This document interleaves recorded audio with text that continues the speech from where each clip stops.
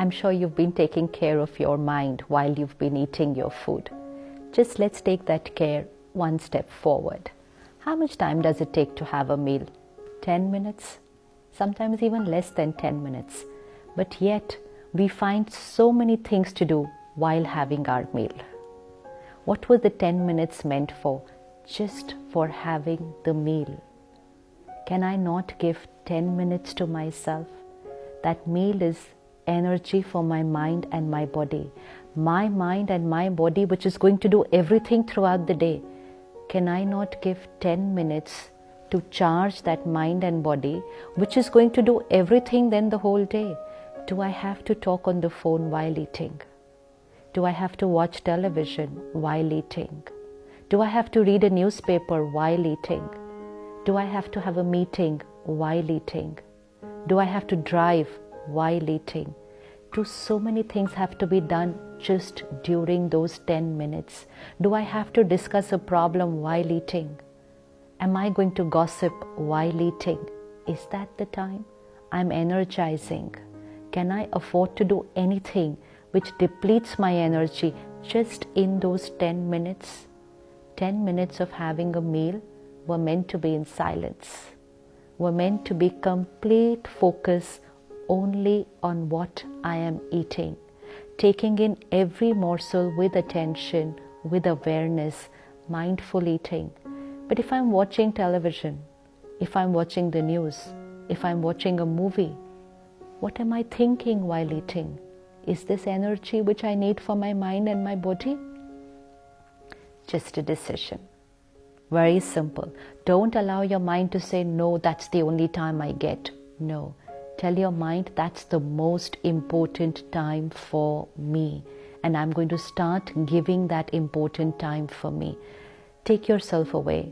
Sit separately in office. Don't have office conversations while having your lunch. It's 10 minutes. It's your break. Even if you want to have a conversation, let it be a happy conversation. Let it not be a conversation which is discussing work. You have the entire day to discuss that. Let it not be a conversation talking about problems.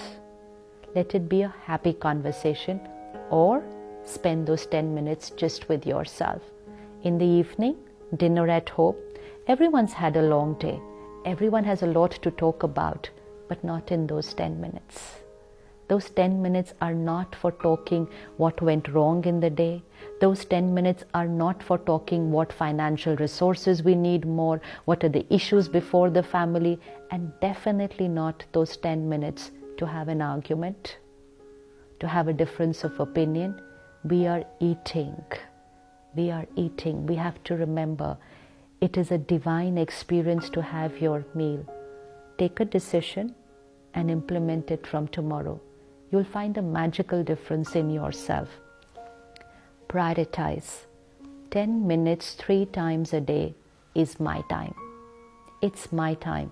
There will be no gadget in my hand, no paper in my hand, no, no watching television, and no idle conversation. It's my time. And definitely not hurried while eating running around while eating, grabbing your breakfast and running out of the house and saying, We've made it a part of our vocabulary. I grabbed a bite. You don't grab food. You're not just going to stuff something into yourself or stuff something into your child just before the child is running to school. This is not energizing. Eating has to be done with a very silent mind, and body also has to be still. So, no running with the food, no driving with the food just being the food and me is a divine experience. Sit back again, look at how your meals were today. The fruit that you were eating, the cup of tea. Was there any wrong conversation while having tea at work?